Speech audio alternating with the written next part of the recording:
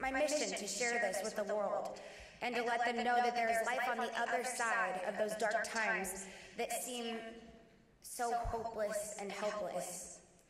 I want to show the world that there is life, surprising, wonderful, and unexpected life after diagnosis.